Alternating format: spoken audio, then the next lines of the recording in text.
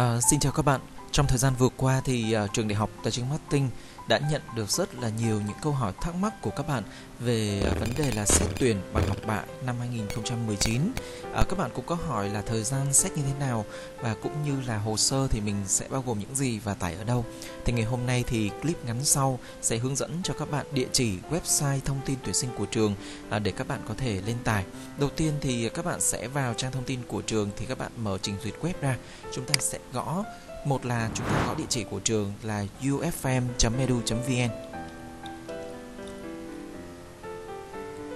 Ở đây là trang chủ của trường thì nó hiện rất là nhiều thông tin khác nhau và để biết được về cái thông tin tuyển sinh của mình thì các bạn sẽ click vào chỗ cổng tuyển sinh này. Chúng ta sẽ click vào chỗ cổng tuyển sinh ha.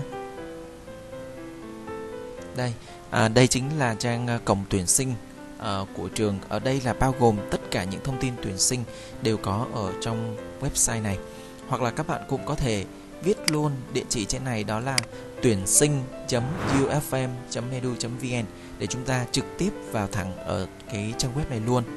Và sau đó thì các bạn sẽ kéo xuống dưới chúng ta sẽ có phần thông tin tuyển sinh. Thì ở cái phần thông tin tuyển sinh này ở đây là tất cả những cái thông báo cũng như là những cái mẫu phiếu đăng ký xét tuyển và ưu tiên xét tuyển vào trường đại học tài chính marketing năm 2019. Thì trong thời gian vừa qua thì các bạn có hỏi rất là nhiều về cái mẫu phiếu đăng ký xét tuyển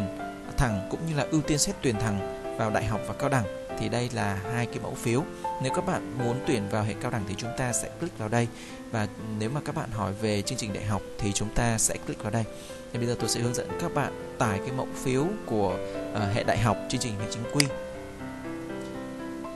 và khi mà các bạn click vào đây thì nó sẽ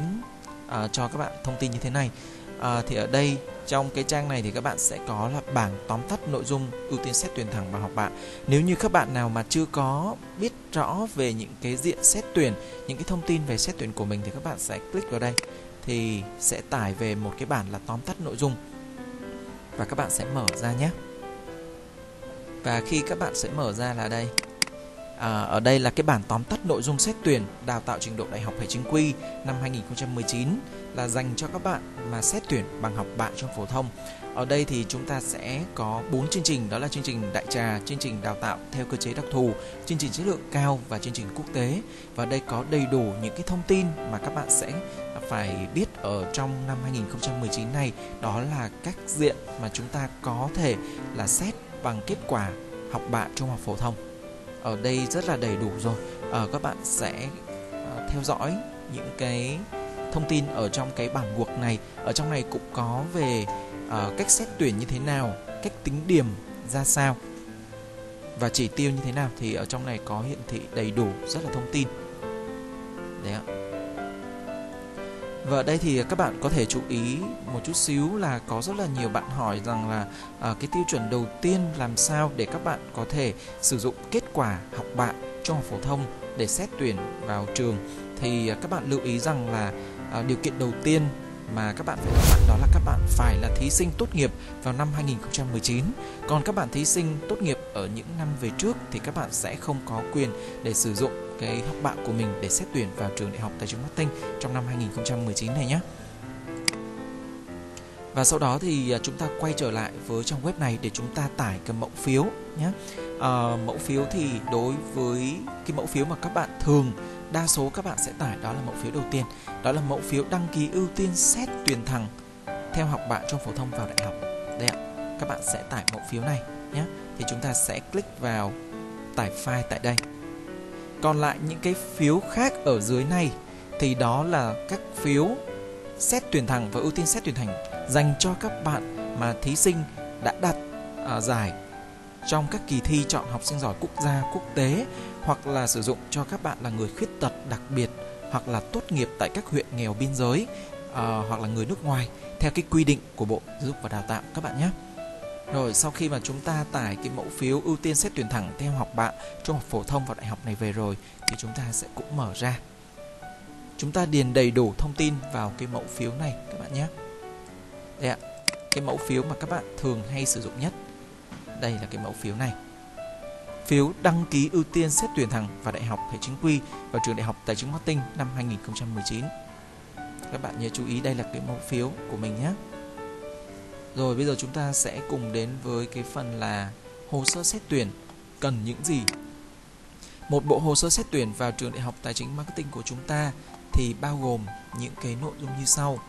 Đầu tiên, đó là phiếu đăng ký ưu tiên xét tuyển thẳng theo mẫu của nhà trường là mẫu hồi nãy nhé thứ hai là bản photo học bạ 3 năm trung học phổ thông Thứ ba đó là bản photocopy các giấy tờ ưu tiên khác nếu có. Thứ tư là các bạn sẽ chuẩn bị một phong bì đã dán tem và ghi rõ họ và tên, số điện thoại và địa chỉ liên lạc của các bạn. À, chúng ta sẽ chuẩn bị thêm đó là hai ảnh chân dung cỡ 4 x 6 và các bạn nhớ là ảnh chân dung của mình là chụp theo chứng minh thư chứ không phải là các bạn những hình mà uh, chúng ta selfie hay chúng ta chụp ảnh đi chơi mà chúng ta nộp về trường các bạn nhé. Ở đây là uh, kiểu chứng minh thư mới chụp trong vòng 6 tháng và các bạn nhớ phải chúng ta phải ghi rõ họ tên, ngày tháng năm sinh, tên lớp vào mặt sau của tấm ảnh này. Và ở đây một phong bì đã dán tem và ghi rõ họ tên, số điện thoại, địa chỉ liên lạc của các bạn là để sau này khi mà nếu mà các bạn có trúng tuyển vào trường đại học tài chính marketing thì trường đại học tài chính marketing sẽ chuyển cái giấy báo trúng tuyển của các bạn theo à, cái địa chỉ mà các bạn có ghi trên cái bì thư các bạn nhé. Và ở đây ở trong cái hồ sơ đăng ký của mình bắt buộc các bạn phải có bản photocopy học bạ 3 năm trung học thông trung học phổ thông. Ở đây thì chỉ uh, trường chỉ cần là bản photocopy thôi, các bạn không cần phải đi công chứng nhé. Uh, và như vậy thì bắt buộc là các bạn khi nào các bạn có đầy đủ học bạ của 3 năm trung phổ thông từ cái trường mà các bạn đang học thì các bạn mới tiến hành để làm hồ sơ. Và cái hạn chót mà các bạn nộp hồ sơ về cho trường đó là vào ngày 8 tháng 7 năm 2019. Hạn chót là 8 tháng 7 năm 2019 các bạn nhớ về cái mốc thời gian này nhé. Và các bạn sẽ nộp qua đường bưu điện và à, trường đại học tài chính marketing khuyến khích các bạn là chúng ta sẽ gửi theo dạng là chuyển phát nhanh và chuyển phát đảm bảo có nghĩa là à, nếu như hồ sơ và hồ sơ các bạn không tới được trường thì người ta sẽ trả hồ sơ đấy à, lại cho bạn liên lạc trực tiếp lại cho bạn cho nên là nếu như bạn sử dụng cái hồ sơ đảm bảo mà không có thông tin gì phản hồi, có nghĩa là hồ sơ của bạn đã đến được với trường đại học tài chính marketing thì các bạn sẽ gửi về địa chỉ đó là phòng quản lý đào tạo trường đại học tài chính marketing số 2 sẹt 4 đường Trần Xuân Soạn, phường Tân Thuận Tây, quận 7, thành phố Hồ Chí Minh. Tôi xin được đọc lại địa chỉ cho các bạn nhé, đó là phòng quản lý đào tạo trường đại học tài chính marketing số 2/4 Trần Xuân Soạn, phường Tân Thuận Tây, quận 7, thành phố Hồ Chí Minh. Và hạn chót của mình đó là ngày 8 tháng 7 năm 2019. Và để kiểm tra hồ sơ của các bạn xem là uh, có tới hay chưa thì ở trên website tuyển sinh.ufm.edu.vn nhà trường có ở trên cái thanh menu các bạn chú ý nhé. Ở đây nó có cái mục là hồ sơ xét tuyển 2019 khi mà các uh, các bạn click vào đây thì nó sẽ nhảy ra một trang khác. Trang này thì sẽ là trang đăng nhập thí sinh nộp hồ sơ xét tuyển năm 2019 đây là trang mà các bạn dùng để kiểm tra xem là hồ sơ của mình đã tới trường được hay chưa cũng như là danh sách các bạn thí sinh không đủ điều kiện có nghĩa là không hợp lệ để xét tuyển bằng học bạ vào trường. Thì nhà trường cũng đã à, thể hiện đầy đủ ở đây